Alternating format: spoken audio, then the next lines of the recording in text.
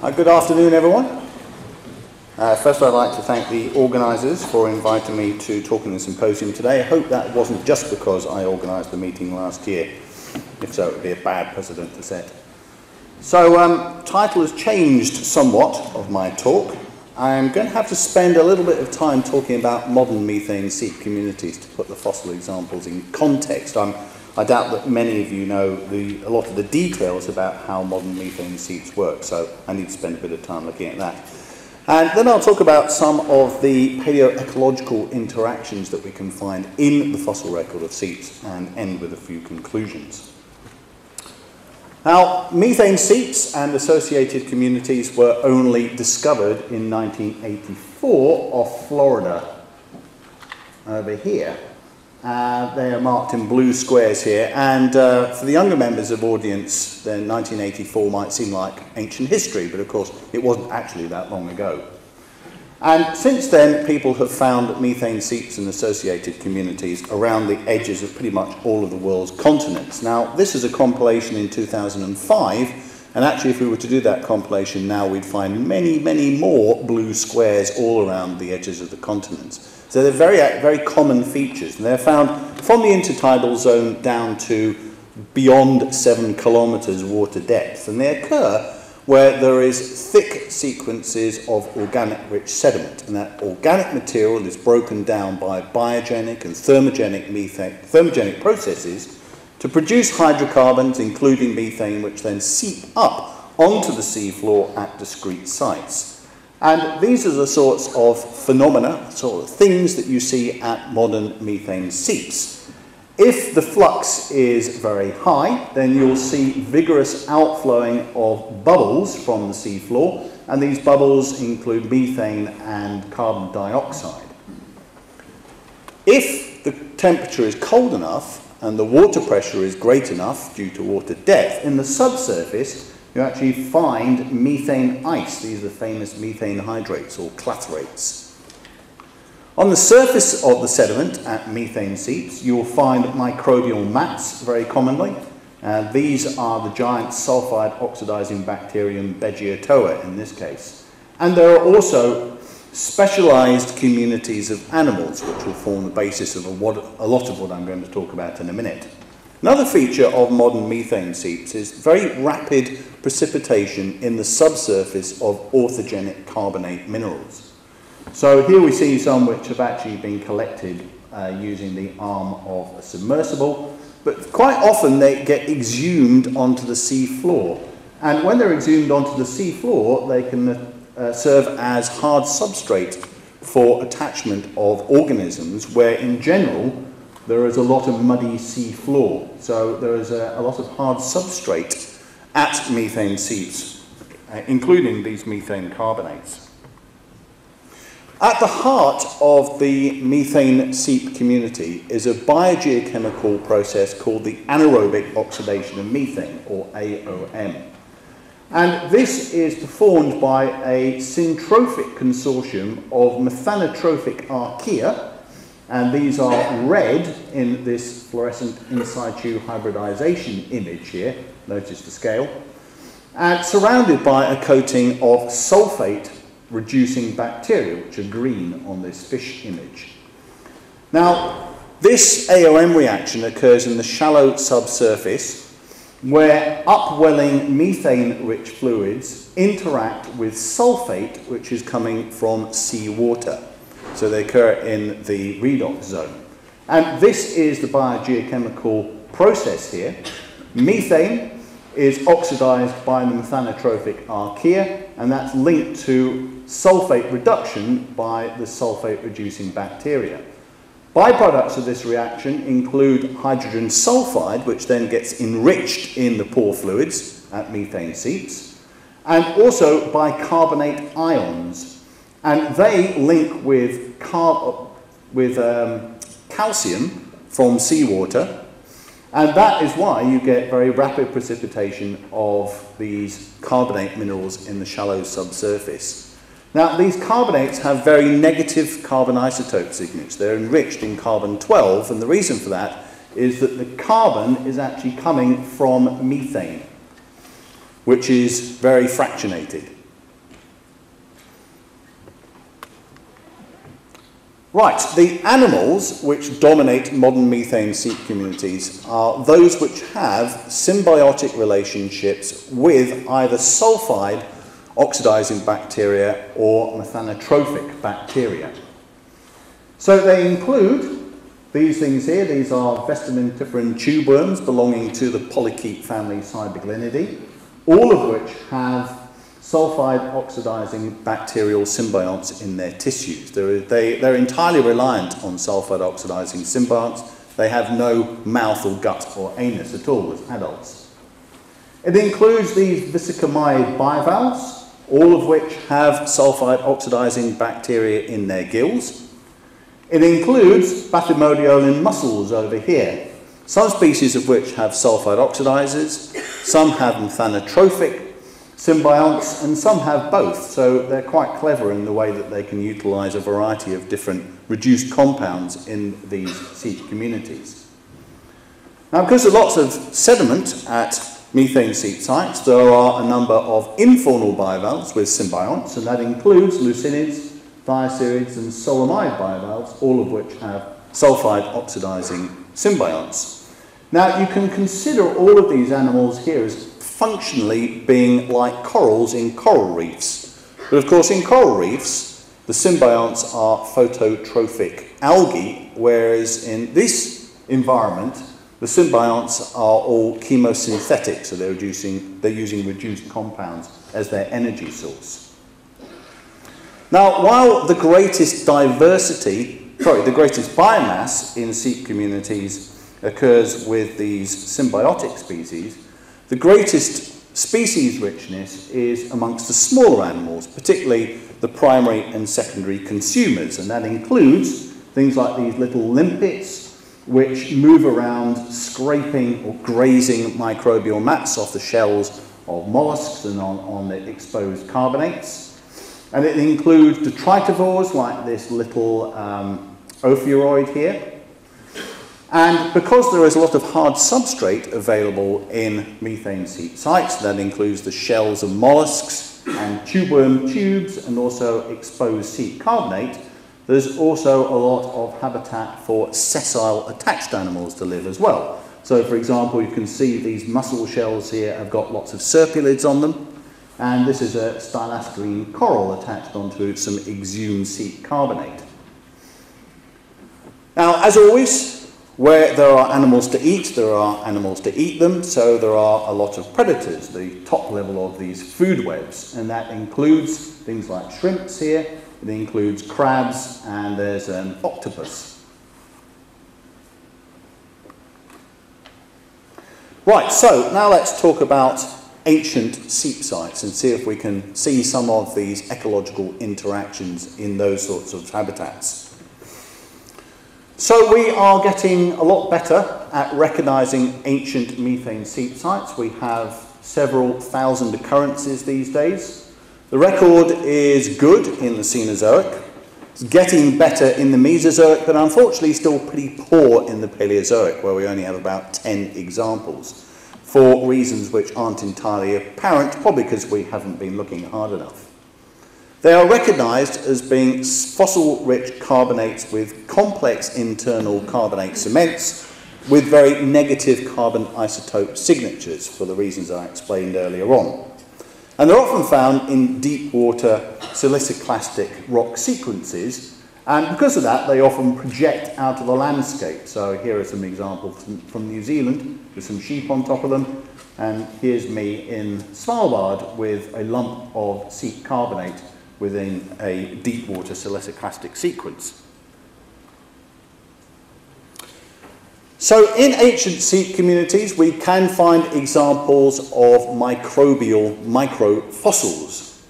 So here we have an example from the an Oligocene site in Washington state, and what we're looking at here are thin sections of authigenic carbonate minerals. In this case, these are aragonites. And here we have two different morphologies of filaments. So there are some small skinny ones here, which are a few microns in diameter and several hundred microns in length. And then much larger ones here, which are a couple of hundred microns in diameter and millimeters in length. And some of these large ones here have sheaths around them. So these look like filaments within sheaths. And these could be equivalent to the giant sulfide oxidizing bacteria you find at modern seeps. But of course, a lot of the problem with this sort of evidence, and I'm sure most of you know this quite well, is it's very difficult to assign taxonomy and particularly physiology to these sorts of filamentous microfossils. So actually we don't really know what these things were doing or indeed if they were interacting together at all. But there's another completely different sort of evidence, sort of data that we can get much better information from, and those are from biomarkers or molecular fossils. So those of you who have come across biomarkers before will know this, but there are refractory compounds which are found in the cell membranes of many organisms which make it into the geological record, which are indicative of particular groups of animals. Or, in fact, in this case, uh, microbial um, organisms. So we have found in modern seep carbonates that there are biomarkers which are indicative of methanotrophic archaea, and these are the isoprenoids, PMI, I don't know, I can't remember exactly what that stands for, biphytane, crocetane, and biphytanic acids. And then also there are biomarkers for sulfate-reducing bacteria as well. So very terminally branched fatty acids, particularly iso and anteiso carbon 14 fatty acids. So what we're looking at here are gas chromatograph images from a Maastrichtian seep site, actually from Seymour Island, Liz, so they're from the, just a little bit lower down from the data that you were talking about, where we have seeps from Antarctica. And for some of these compounds here, we have compound-specific carbon isotope values as well. So you extract these compounds and stick them in the mass spec, and you actually get the carbon isotopic signature for them. So this is an example where we have many of those biomarkers this is the hydrocarbon fraction, so this is the one that shows the isoprenoids, and this is the carboxylic acid fraction that shows some of these um, indicative biomarkers for sulfate-reducing bacteria. And the real smoking gun here that these were involved in the AOM reaction is that they have really negative carbon isotope signatures. It's not, I'm afraid it's not very easily readable, but that PMI signature there is minus 83. And in other ancient sea carbonates, we have values going beyond minus 100. And that can only come through methane, using methane.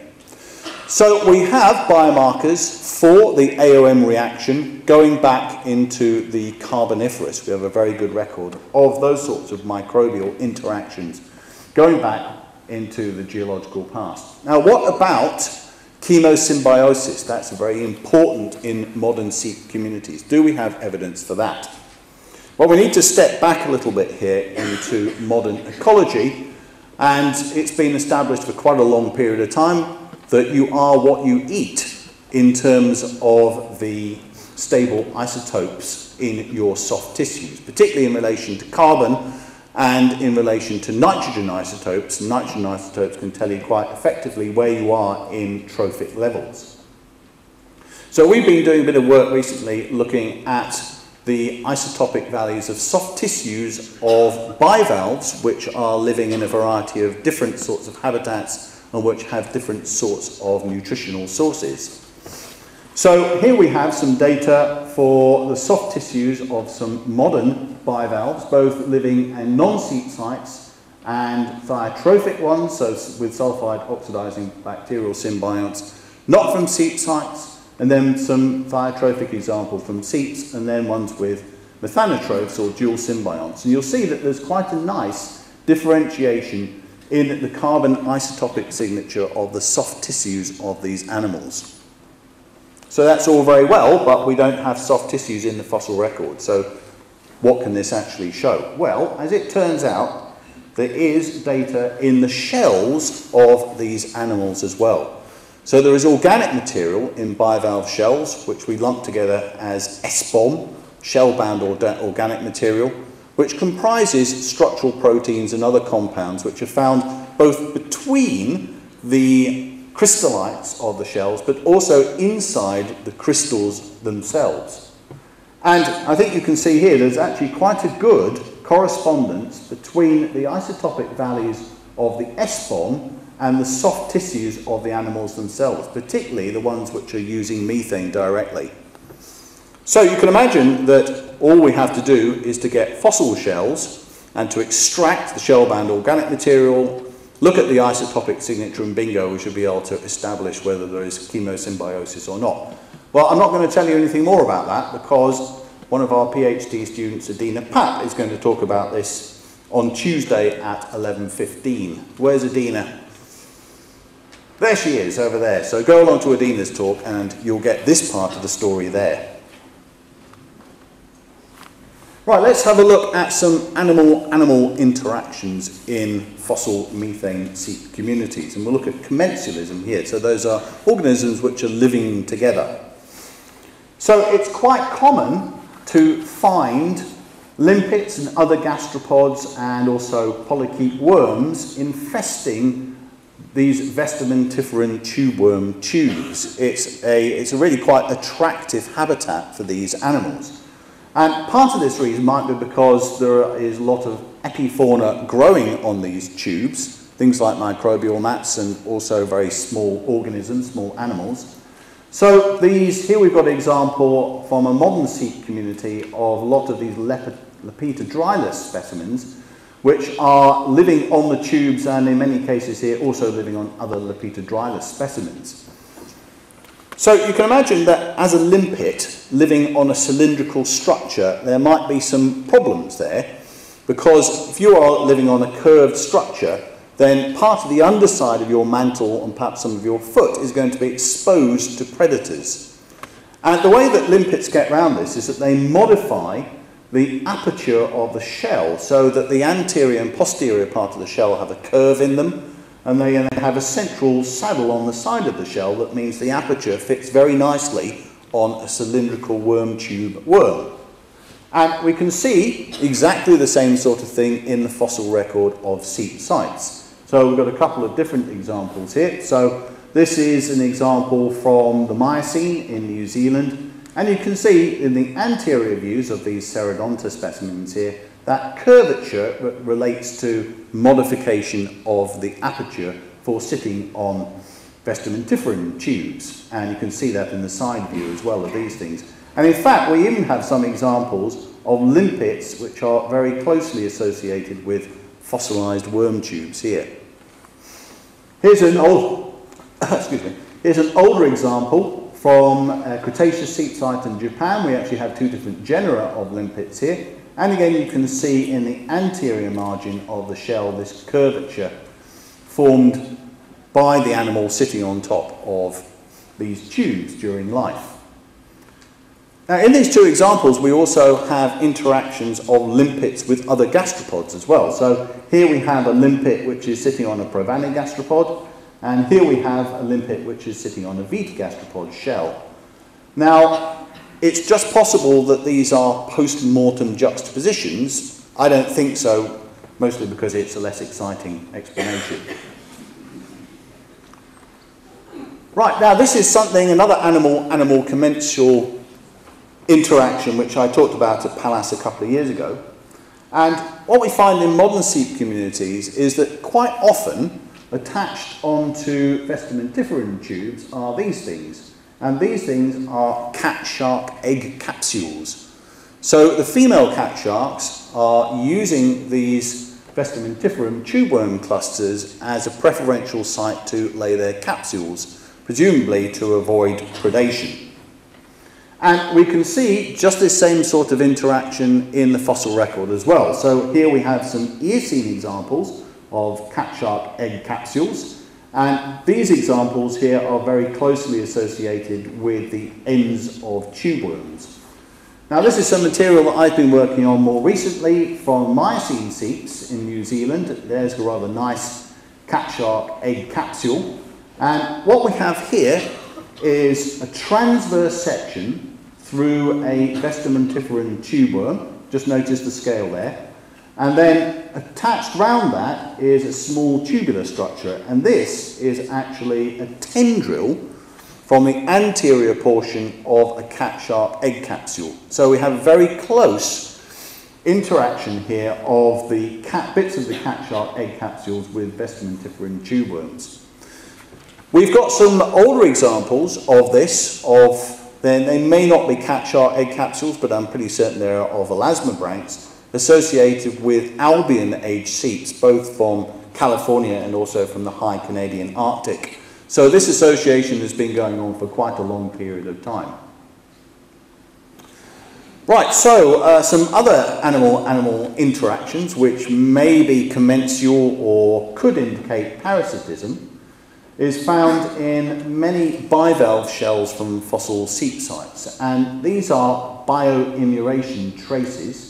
Here's an example of one on this very large extinct bivalve, thing called Caspiconcha. And if you have a look at the posterior margin here, there is a wiggly line on the inside of the shell. Now this thing is not a later boring. This is something that was living between the mantle and the inner wall of the shell and causing an indentation, wiggly indentation in that shell. This is another example here. This is an internal mould of a Lucinid bivalve from a slightly earlier Cretaceous site from Svalbard. And what's happened here is the shell has dissolved away, and instead, uh, and what, what it's left is this bioimmuration trace on the inside of, that was actually on the inside of the shell, so same sort of position. Now, I've called this bioimmuration, but I realised that uh, relating to what uh, Paul was saying earlier on, that might not be the right word. What do you think, Paul? Bioimmuration the right word there, or bioclausation, or bioclastration? Claustration. I need to get the terminology right for the next talk.